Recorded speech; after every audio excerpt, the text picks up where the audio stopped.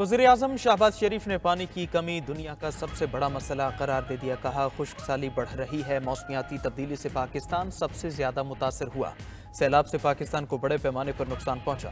پانی کے وسائل کو محفوظ رکھنے کے لیے اقدامات کرنے ہوں گے۔ وزیر اعظم کا موسمیاتی تبدیلیوں سے نمٹنے کے لیے ترقی پذیر ممالک کی مدد کی ضرورت پر زور۔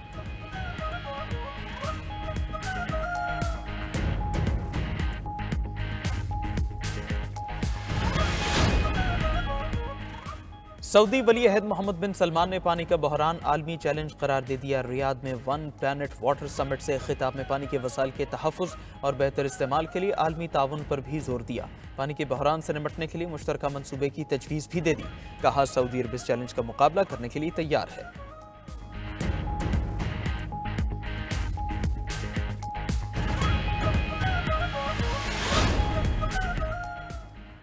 جنوبی کوریا میں مارشل لاء کا اعلان، صدر یون سکسیول کا اپوزیشن پر اپنے رہنما کو بچانے کے لیے نظام مفلوج کرنے کا الزام، کہا ملک کی اقوامی اسمبلی جرائم پیشہ افراد کی پناہ گاہ بن چکی ہے۔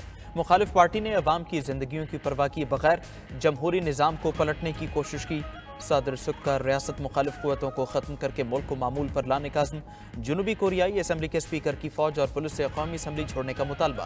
پارلیمنٹ نے مارشل لاء روکنے کا بل بھی منظور کر لیا۔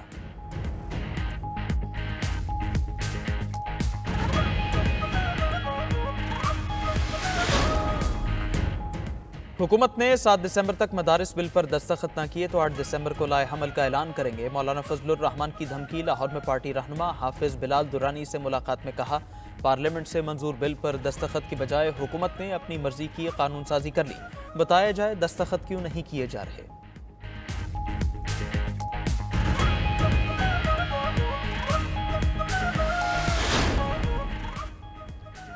اور استور میں پھر برف باری شروع۔ وادی نے پھر سفید چادر اوڑھ لی۔ کئی مقامات پر تین انچ تک برف کی تہ جم چکی۔ شمالی علاقہ جات میں شدید سردی کی لہر۔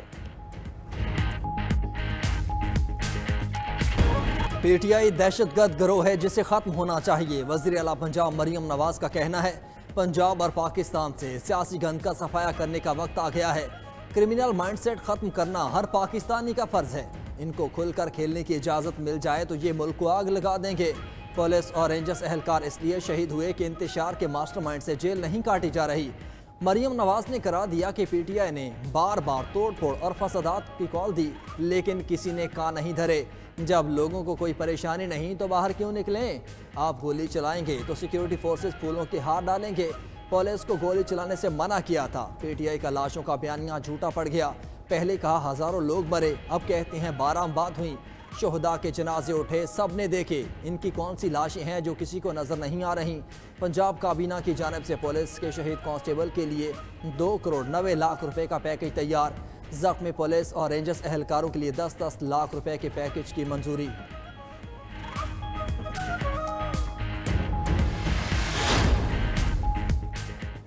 احتجاج اور دھرنوں میں شرپسندی پھیلانے والوں کو سخت سزائیں دی جائیں۔ آئندہ ایسے عناصر سے نمٹنے کے لیے انسداد فسادات فورس بنائیں گے۔ وزیر اعظم شہباز شریف کا اعلان، دھرنے میں فسادات کی تحقیقات کے لیے قائم ٹاسک فورس کا پہلا اجلاس۔ شہباز شریف بولے، مہمان صادر کے دورے کے وقت لشکر کشی ملک کے لیے شدید شرمندگی کا باعث بنی قانون پامال کرنے والوں، سرکاری املاک اور اہلکاروں پر حملے کرنے والوں کو قرار واقعی سزا دی جائے۔ انتشار پھیلانے والوں کے خلاف قانونی کارروائی پر پیش رفت کا ہفتہ وار جائزہ لیا جائے گا۔ اسلام آباد سیف سٹی میں فورنزک لیب شامل کر کے اسے بین الاقوامی معیار پر لایا جائے گا۔ وزیر اعظم کو بریفنگ دی گئی۔ موقع واردات پر موجود فسادیوں کی شناخت کا عمل تیزی سے مکمل کیا جا رہا ہے۔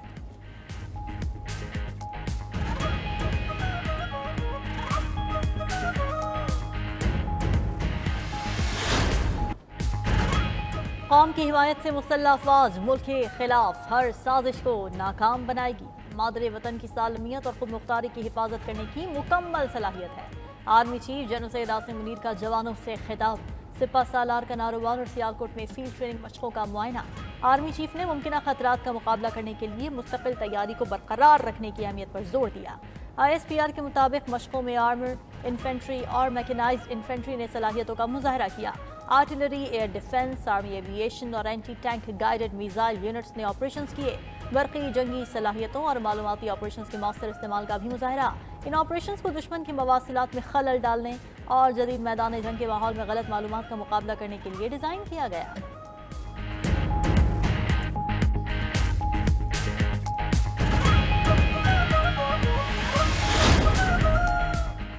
فیک نیوز پر پانچ سال قید یا دس لاکھ روپے جرمانہ۔ دونوں سزائیں ایک ساتھ بھی ہو سکتی ہیں۔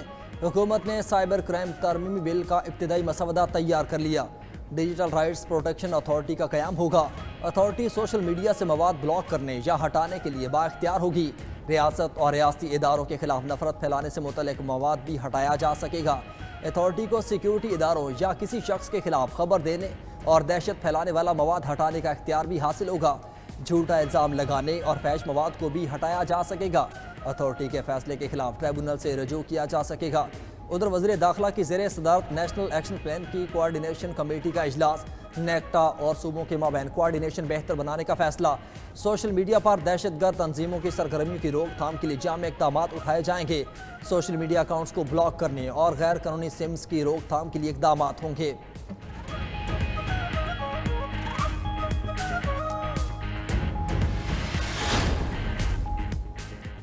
بانی پیچا نے کہا ہے، آخری کارڈ باقی ہے، ابھی نہیں بتاؤں گا۔ علیمہ خان کی بانی سے ملاقات کے بعد میڈیا سے گفتگو، بانی کی صحت سے متعلق افواہوں کی تردید۔ کہا، بانی سانہڈی چوک پر افسردہ ہے، مقامی اور عالمی سطح پر اٹھانے کی ہدایت دی ہے۔ شہدہ اور گرفتار لوگوں کا پتہ کروانے کی بھی ہدایت دی۔ بشرا بی بی کی طرح دیگر پارٹی قیادت کو بھی کنٹینر پر ہونا چاہیے تھا۔ رہنما پیچا، علی محمد خان بولے، ہمارے تین مطالبات کا جواب لاشوں کی صورت میں دیا گیا۔ کیا آئین و قانون کی بات کرنے والوں کو خاموش کر دیا جائے گا؟ جس نے کارکنوں پر ظلم کیا ہے وہ عدالت میں جواب دے گا۔ بانی پیچا کی رہائی تمام مسائل کا حل ہے۔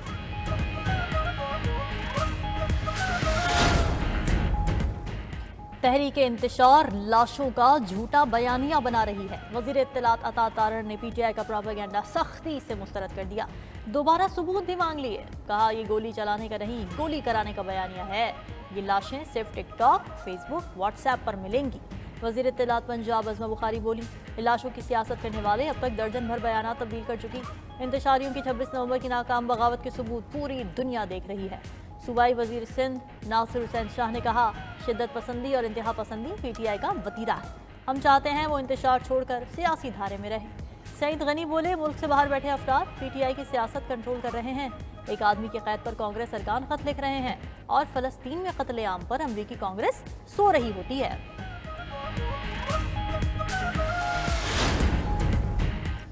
بانی پی ٹی آئی کا ٹویٹر اکاؤنٹ منظم پروپوگنڈے کے لیے استعمال کیا جا رہا ہے۔ گزشتہ روز اسٹیبلشمنٹ کے خلاف جان بوجھ کر ایک گھٹیا ٹویٹ آگ لگانے کے لیے لکھا گیا۔ سینیٹر فیصل وابڈا کا ٹویٹ لکھا، گھٹیا ٹویٹ بانی پی ٹی آئی نے نہیں بلکہ باہر بیٹھے سازشوں نے لکھا۔ بانی نے اچھا فیصلہ کیا حکومت سے بات چیت کی جائے، سڑکوں کے بجائے اسمبلیوں کا رخ کیا جائے۔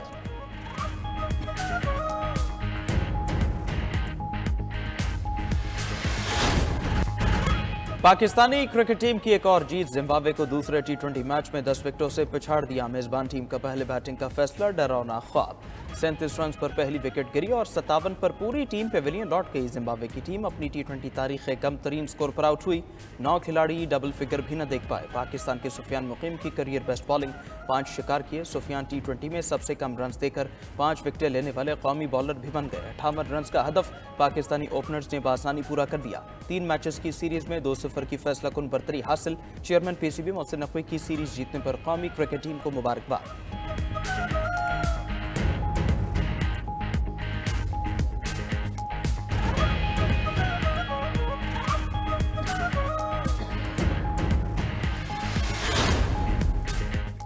چیمپئنز ٹرافی پر بھارت کا پاکستان کی تجویز نہ ماننے کا امکان۔ بھارتی میڈیا کے مطابق بی سی سی آئی پاکستان کی پیشکش ماننے پر ہچکچاہٹ کا شکار ہے۔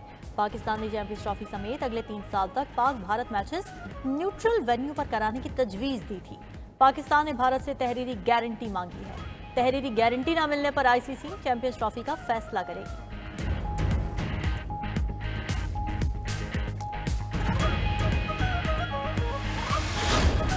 پاکستان پہلی بار blind T twenty world cup کا چیمپئن بن گیا۔ فائنل میں بنگلہ دیش کو دس وکٹوں سے شکست۔ پاکستانی بلائنڈ ٹیم نے ایک سو چالیس رنز کا ہدف بغیر کسی نقصان کے گیارہویں اوور میں حاصل کر لیا۔ کپتان نثار علی نے بہتر رنز کی طوفانی اننگز کھیلی۔ صفدر نے سینتالیس رنز بنا کر ٹیم کی جیت میں ہم کردار ادا کیا۔ گرین شرٹس پورے ورلڈ کپ میں ناقابل شکست رہی۔ Chairman P C B Mohsin Naqvi کی فائنل جیتنے پر بلائنڈ کرکٹ ٹیم کو مبارکباد کہا۔ ٹیم نے پورے ایونٹ میں شاندار کھیل کا مظاہرہ کیا۔ وزیر اعلیٰ پنجاب مریم نواز نے اپنے پیغام میں کہا well done special heroes well done cricket کے اسپیشل ہیروز نے شاندار کارکردگی سے ملک کا سر فخر سے بلند کر دیا۔